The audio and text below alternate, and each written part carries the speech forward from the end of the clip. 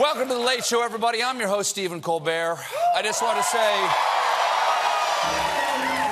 hello, citizens of Earth.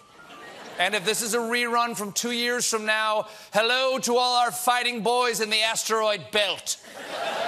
Go give the Astro Kaiser hell. Because tonight there's big news about Space Force!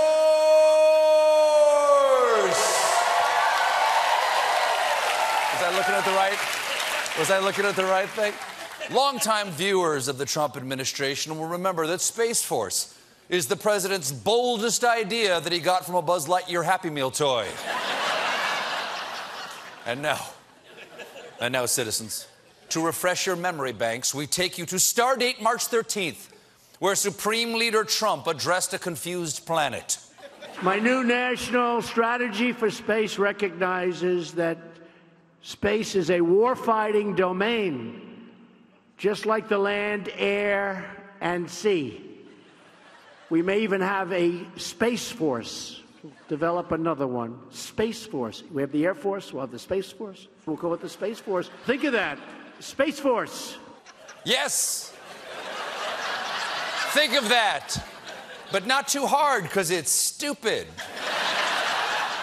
We already have NASA. We don't need Space Force. Please wait until NASA finds life before you try to kill it.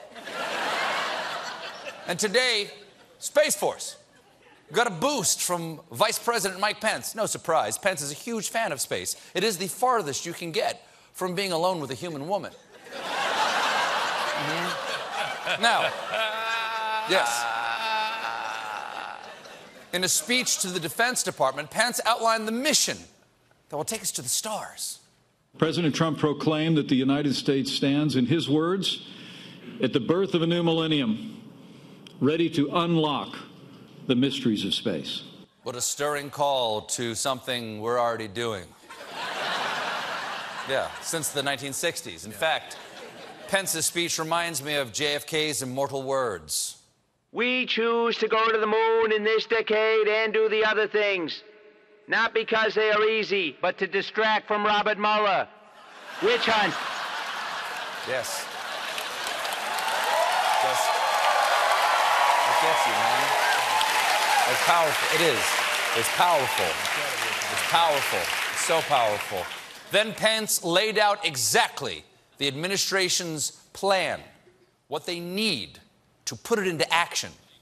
The second step this report calls for is the creation of an elite group of joint warfighters specializing in the domain of space, who will form the backbone of the nation's newest armed service, Space Operations Force. No, no, no.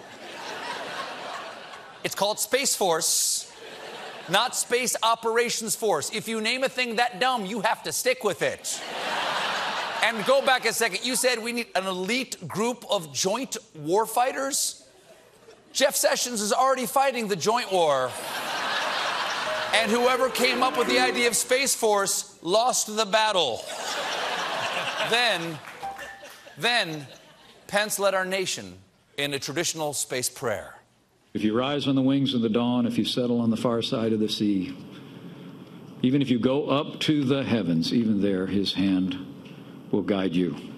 His right hand will hold you fast. And he will hold fast this great nation in the great beyond. Hold on a second. Wait, you said his right hand will hold you fast, and he will hold fast this great nation and the great beyond. How many hands does God have? Wait, is Mike Pence worshiping Vishnu? Ah. Whoever Astro God is, it was a truly eloquent and spiritual benediction. Or as Trump put it, Space Force all the way. Space Force, you know I love it. I, of course, I would join, but I have space spurs. I can't. I can't do it. I can't.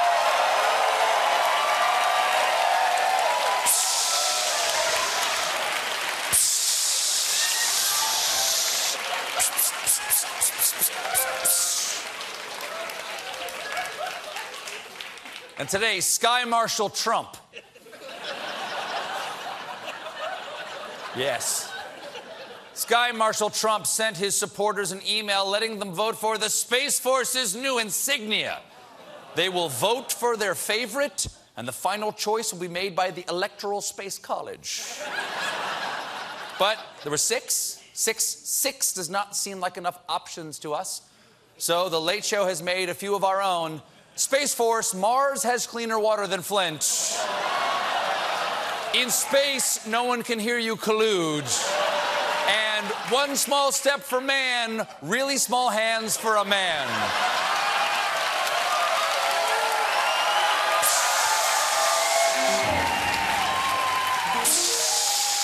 Pew, pew, pew, pew.